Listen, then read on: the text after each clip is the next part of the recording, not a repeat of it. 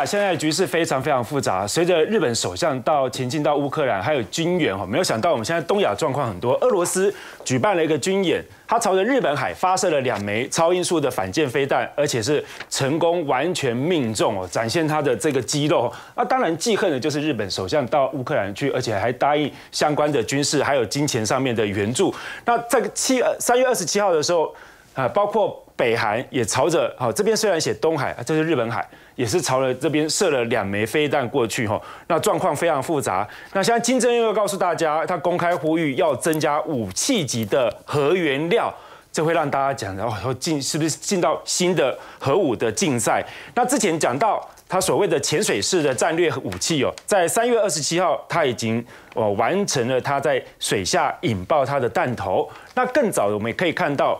美国的航空母舰在昨天的时候已经开到了南韩的釜山哦，所以刚刚的包括它试射的日本海，还有包括釜山，所以东北。东北亚的这一块地方，现在状况非常非常多。那日本现在也大幅增加他们的这个军购，采购了四百四百枚的战斧飞弹哦。二零二七年之前要改装八八艘的神盾舰，他们的预算高达台币是四百八十四亿元哦。那巡弋飞弹呢，一百射程是一千六百公里。那九州福冈到北京直线距离是一千四百公里。那当然还有一个谜啊，就是二零二一年两年前。这个康乃迪克号，呃，撞到了在南海撞到了这个山脉受损哦，哈，这个事情到现在发生了一个玄之又玄的谜，维修长达三十一个月，但是美国海军新闻却爆料，到今年三月哦，美国政府的合约网站里面都还没有出现这个受伤核母零件订购的讯息，那到底是怎么回事呢？是不是在南海区域执行其他任务而制造的一个烟雾弹？兵哥。其实这一连串呢，大家都在秀肌肉了。俄罗斯为什么要向这个这个方向打这个日志？日志其实是个一九七零年代的导弹，但它在当时是非常先进，因为它是超音速导弹。那所以它射出来就表示，它俄罗斯现在虽然被你们看衰，但是我实力还是很强。你日本不要随便惹我哦。因为因为最近因为北韩一直在蠢蠢欲动，所以美国跟日本、韩国不断的在附近，每隔个一两个月就开始在那边军演一次。就不断在那边做这一些正正则的动作，所以俄罗斯现在也是在回敬了。那也顺顺便是帮金正恩声援一下。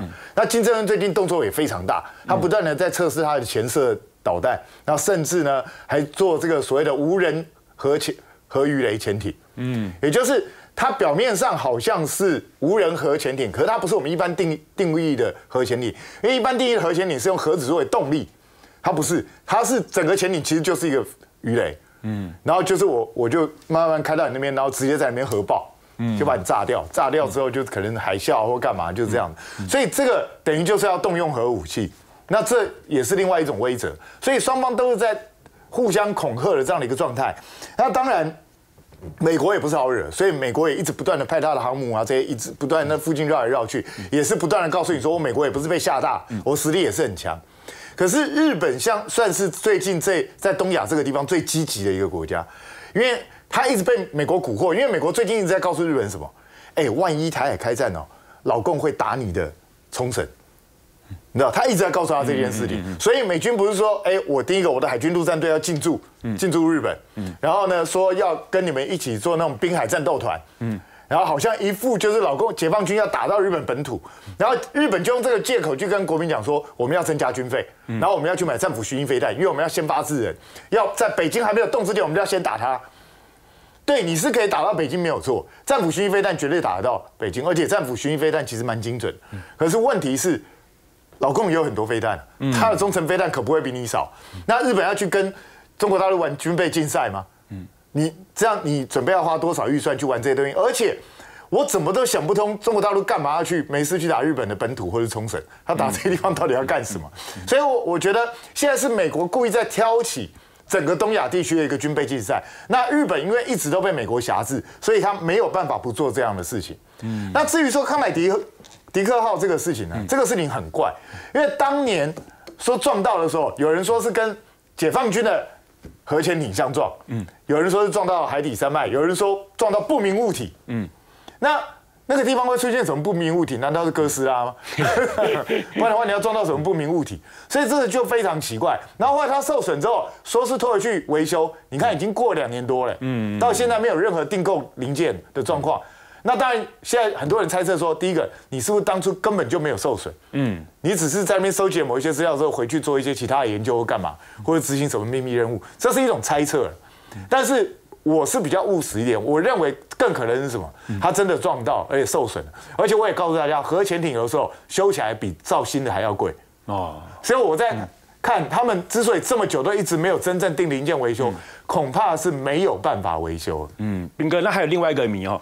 总统在三月二十五号的时候到嘉义去看亚洲无人机创新的研发中心哦，啊，特别去看雷虎国家队。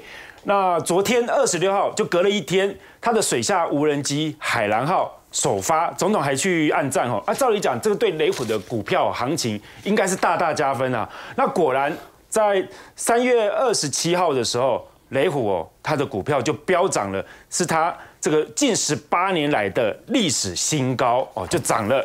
但很奇怪哦，再隔一天，它的股票遭到处置重跌啊。好，本来是前一天是六十五十九块，涨到六十四点九，一口气涨了五点九块钱。就昨天呢，因为被处置，所以后来就跌了，跌停的最后是五十点五块钱哈。那这个状况到底是怎么回事？其实哦，本来我们发展不管是空中的无人机还是水下无人机，这都是我们必然要发展的方向。全世界也在都在这一方面做竞争，所以这本来是件好事。那如果有一些国家的资源能够挹注，是更好，对我们的发展是有益的。可是问题来了，你不觉得吗？最近这几年呢，只要蔡英文碰到的东西，好像都跟股价有关。高端也是，嗯，然后黑虎也是，好像。你这个我们这个总统到底真正关心的是国军的发展，是台湾生计的发展，还是股价的发展？嗯，我我觉得这个就非常非常奇怪，为什么老是会有这种？再来讲，总统刚去视察的的公司会立刻会遭受处置，这这是什么情况？这这是非常非常诡异的状况啊！那我要比较阴谋论一点的讲，就是是不是早就有人知道会被处置，所以先安排总统去视察，先炒高一波之后，再让你锁死在那？那有的人如果事先知道消息，是是不是就可以大赚一票？所以这不就有大批的韭菜？对啊，那那每一次台湾股市韭菜多，主要到处都是，数不清了。所以我觉得这每一次出现这么奇怪的状况的时候，我们有个东西叫金管会啊，金管会你到底死到哪里去了？这种东西你不去关心一下，不去查一下吗？还有我再提醒一件事，高端从去年查到今年，金管会你查了多久了？你到底查出一朵花来没有？赶快给我们一个交代了。监察委员现在在忙着要查狒狒之死的真相，那包括八十五度 C 董娘大量抛售他的股票造成了动荡哦。我们休息一下，马上回来。